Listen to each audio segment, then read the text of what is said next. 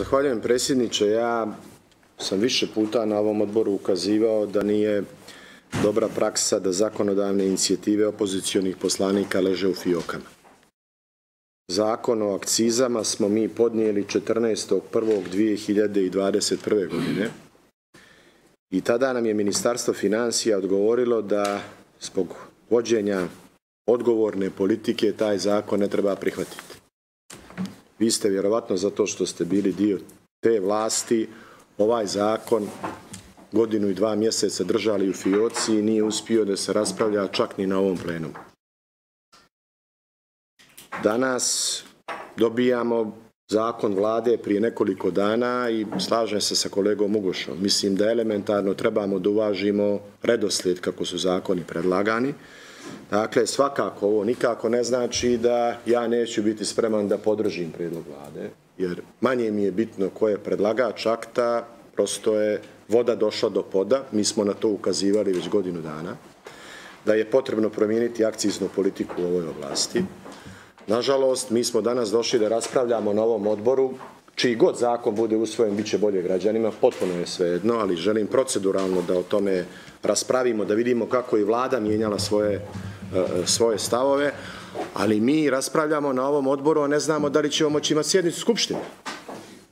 Dakle, što također mislim da je važno i što je očekivanje od pojedinih, barem će moje biti, od pojedinih političkih subjekata, da li postoji spremnost da se zakaže sjednica Skupštine. Jer ovo o čemu mi raspravljamo je je samo jedna stepenica. Završavam, presjedniče.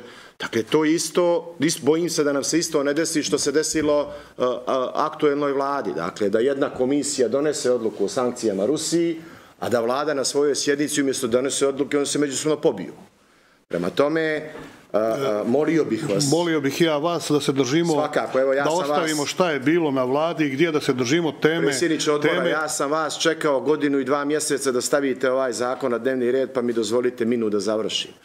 Ovaj, ja bih vas zamolio da zakone raspravljamo onako kako su došli u skupštinsku proceduru, jer su zakoni vezani za istu tematiku. Zahvaljujem. Dakle, da bismo bili efikasni, i da bismo pokušali da damo što je moguće što je moguće brži odgovor na ovu situaciju koju imamo. Ja vas molim da našu tačku dnevnog reda gdje smo predlagači ja i koleginica Vuksanović povučete sa dnevnog reda.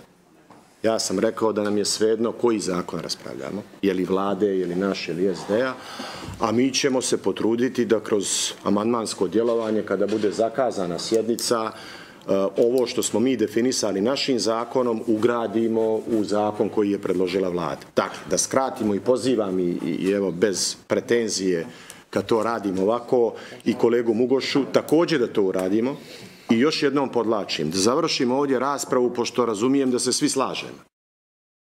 Da završimo raspravu na odboru za desetak, 15 minuta, pošaljemo poruku da postoji jedinstven stav o smanjenju akciza, da formiramo jednu radnu grupu odbora u kojem bi bio predstavnik vlade, koja bi pokušala da inkorporira neka viđenja koja, koja imamo mi u našem zakonu, koji dugo čeka i kolega Mugoša ovaj, u njegovom zakonu, i da ta radna grupa do sjedice plenuma djeluje zajednički, amandmanski, kako bi se korigovalo nešto i došlo do nekog rješenja i istovremeno usvojimo zaključak kojim ćemo da zatražimo od presjedavajućeg skupštine, upravo je kolega Mugoša, da što prije zakaže sjedicu, jer nije pošteno se zalagati za nešto, a blokirati instituciju koja to treba da usvoji. Evo, ja sam dao naš doprinos, povlačim tekst da bi građani znali iz ovih razloga da bismo što prije došli do rješenja. Zahvaljujem, dakle, e, e, samo e, već sam rekao, spremni da podržimo bilo čiji prijedlog koji se odnosi na smanjenje akciza, bez ikakve ljutnje što je naš prijedlog o smanjenju akciza čekao toliko dugo. Samo potvrda da smo bili u pravu. Sve ono što se tiče drugih odredbi, u zakonu o akcizama koje se ne tiču smanjenja akciza na gorivo. Dakle, o tome ćemo posebno raspravljati, ne bih sada to otvarao, jer ćemo djelovati amandmanski, jer mislimo da povećanje drugih akciza u ovakvim okolnostima uticaja na životni standard nije realno i nije dobro, bez obzira o kojim proizvodima se radi. Dakle, ovdje imamo ogromno, zbog raznoraznih razloga, dominantno zbog agresije e, e, Ruske federacije na Ukrajinu. Imamo disbalanse na tržištu koji su ogroman poremeća izazvali i kreiraju e, iz poviše osnova inflaciju koja ugrožava životni standard. Prema tome, ne mislim da je dobar potez da sada uvodimo veće akcize za neke druge proizvode, makar to bili i duvanski proizvodi, jer u ovo, ili nove akcize, Jer u ovom zakonu imate jednu stvar koja mi je vrlo čudna. Da od e, cijele palete, da kažem, duvanskih proizvoda vi izlačite jedan mali segment koji svega učestvuje sa 3 ili 4% na tržištu.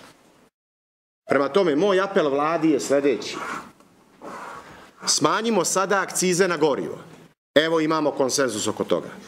Mislim da imamo i konsenzus da ta tačka dnevnog reda bude hitno na sjednici Skupštine da tom odlukom Skupštine građani mogu da e, e, osjete da država prema njima vodi računa u ovakvim okolnostima. Sve druge akcize ostavite po strani.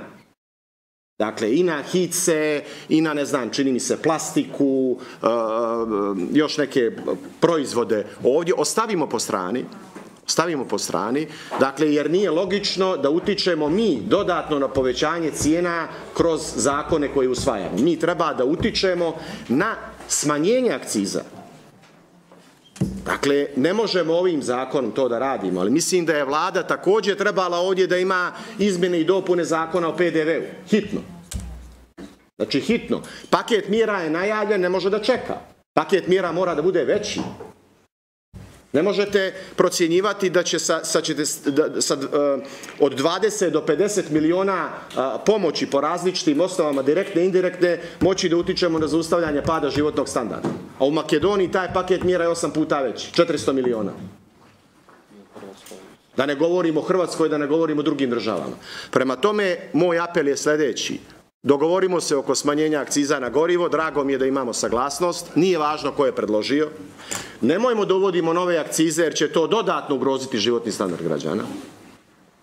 A dajmo kroz paket mjera koji vlada treba kroz zakone hitno da predloži, dakle izmjene PDV-a, možda ukidanje akciza za neke stvari, možda ukidanje akciza za neke stvari, za neke proizvode, dakle da pokušamo da u narednih pola godine uz nadu, uz nadu, da će situacija koja je dominantno uzrokovala ova dešavanja na tržištu biti zaustavljena, mislim na agresiju Ruske federacije prema Ukrajini, kako bi tržište na ovaj ili onaj način se u tom smislu stabilizovalo. Presjediče, neću se više javljati, moj apel je, dakle, akcize na gorivo da se smanje, da, sve druge akcize da se eliminišu iz zakona jer utiču na dodatno urušavanje životnog standarda građana. Nije vrijeme ni za nove akcize, ni za povećanje akciza na druge proizvode. Dajte da to što prije uradimo, uputimo apel vladi što prije izdašan prijedlog e, mjera pomoći koje će E, mjera pomoći e, prema građanima u tom segmentu i naravno finalan zaključak onaj koji sam predložio da se da odbor za ekonomiju pokaže odgovornost odgovornost ako već pričamo o standardu građana i zatražimo na to imamo pravo presjedniče molim vas da date taj zaključak da zatražimo zakazivanje hitne sjednice Skupštine. Jer bez sjednice Skupštine naša priča će ovdje da završi kao naše usklađivanje politike sa Evropskom, sa Evropskom unijom. Dakle, na komisiji da, na vladi ne, rezultat je, nema, rezultat je što je kolega Mugoša, hvala mu, nula.